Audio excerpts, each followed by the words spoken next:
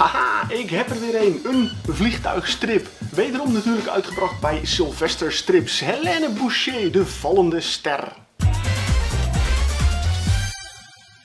Ja, weet je, dit, dit ziet er natuurlijk echt absoluut fantastisch mooi uit.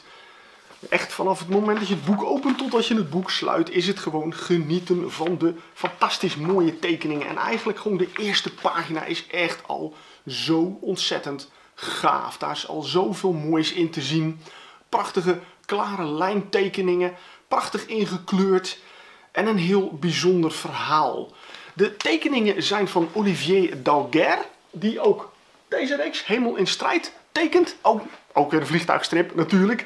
En uh, het scenario is van, ik ga het proberen goed uit te spreken, DJ Cruella Guillot. Uh, en het, het, is een, het is een one-shot over Helene Boucher.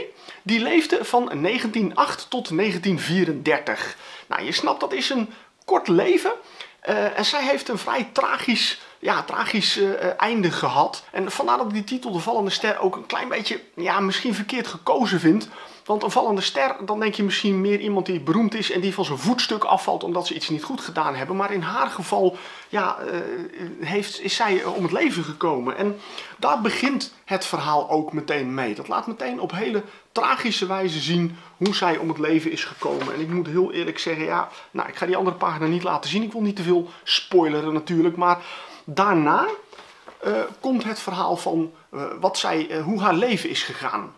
Want zij wilde op jonge leeftijd al piloot worden. En haar, um, haar ouders die zagen dat eigenlijk niet zo zitten.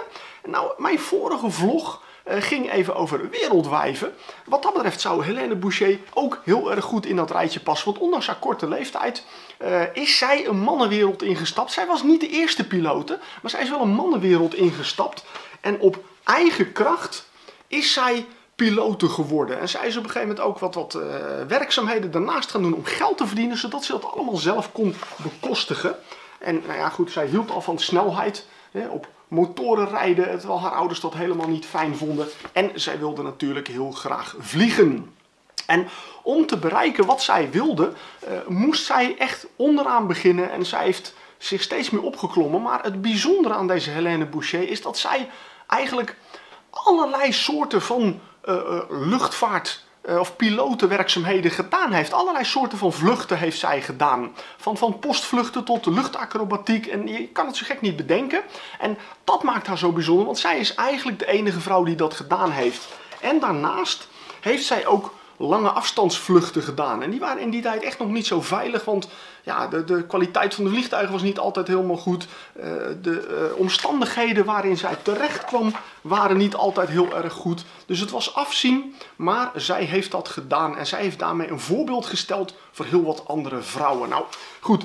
Uh, een, een prachtig verhaal, een waar gebeurd verhaal prachtig getekend vooral eventjes. Dat, het is echt, nou ja, goed, je weet het. Ik ben een ontzettende liefhebber van de vliegtuigstrips. Dus wat dat betreft is dit boek weer genieten. Prachtig. Ik ben meteen fan geworden van Olivier Dauguer. Ja, weet je, laten we het kort maar krachtig houden. Helene Boucher, de vallende ster. Je hebt gezien wat het is als het je aanspreekt.